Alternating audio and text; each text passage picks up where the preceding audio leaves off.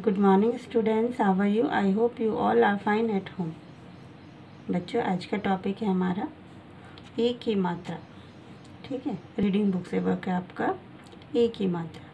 देखिए चित्र बने हैं और उनके नेम किस तरह से लिखने हैं? उसका अभ्यास हम करेंगे। बस चित्र में देखिए बना है। घड़ी। घ र में बड़ी की मात्रा। ड़ी घड़ी। ठीक है? नेक्स्ट देखिए दरी। द रा में बड़ी की मात्रा। री दरी नेक्स्ट है, चीता। चा में बड़ी की मात्रा ता में आ की मात्रा, चीता। इसी तरह से आगे देखिए। हाथी हा में आ की मात्रा था में बड़ी की मात्रा। हाथी। नेक्स्ट है, चाबी। चा में आ की मात्रा बा में बड़ी की मात्रा। बी, चाबी। नेक्स्ट देखिए, माली। माँ में आ की मात्रा, ला में बड़ी की मात्रा। ली माली ओके?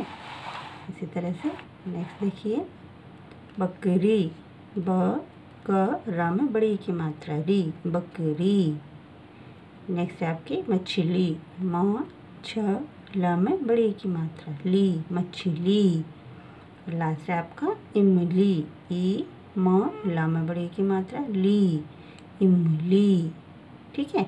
तो इस तरह से आपको इन्हें ध्यान से पढ़ना है अच्छे से और इनको लिखने का अभ्यास करना है। ठीक है? नेक्स्ट नेक्स्ट पेज पे देखते हैं।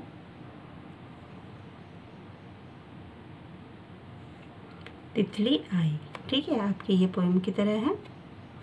तितली आई तितली आई। रंग बिरंगी तितली आई। डाली डाली उड़ती आई।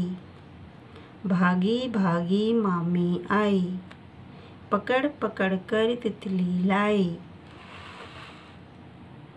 मटक मटक कर शीला आई।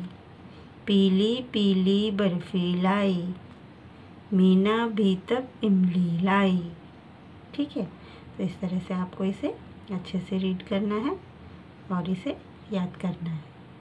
ओके आज के लिए इतना ही। कल फिर मिलेंगे। Till then take care thank you